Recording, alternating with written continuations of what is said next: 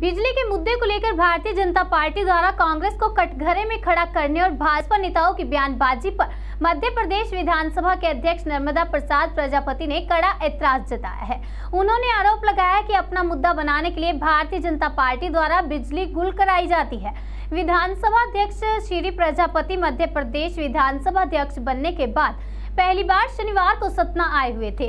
Vindhya chamber of commerce and industries भवन में आयोजित सम्मान समारोह में भाजपा को आड़े हाथों लेते हुए कहा कि जनता ने उन्हें 109 और हमें 114 की संख्या दी है, इसलिए जनता का सम्मान करना चाहिए।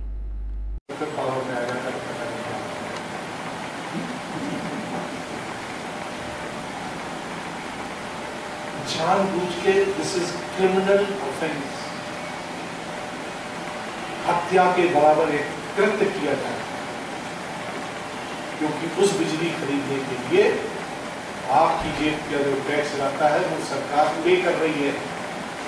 वो बिजली आप तक पहुँचना चाहिए, लेकिन बीच में जो आउटसोर्स के लड़के लगे हुए हैं, अगर वो ऐसा दुस्साहस कर रहे हैं तो आपके साथ बहुत बड़ा क्रिमिनल कर रहे हैं। क्रिमिनल ऑफेंस मैं अगर होता तो प्रेस वाले हों तो जितना नहीं नहीं तो पता नहीं क्या सुविधा देने के लिए रास्ता रोकना। गलत बात।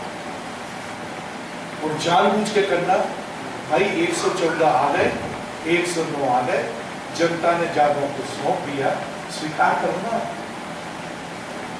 जनता ने सौंपा 114 109 स्वीकार करो। क्यों ये छेद में भेद कर रहे हो? क्यों ऐसे नाटक कर रहे हो जो आपको हम जब आठवीं और बारहवीं क्लास में के पढ़ते थे, उस जमाने में? गिल्ली डंडा और चिरंगा खेलते थे, किसी के चिरंगा धोखा लेते थे मोबाइल तबाह थे। जब प्रकार की हरकत कर रहे थे। उसमें किसका? उसी जनता का बुरा हो रहा है, जिस जनता ने उनको भी वोट दी है। सिर्फ़ अपना मुद्दा बनाने के लिए बिजली को Oculva.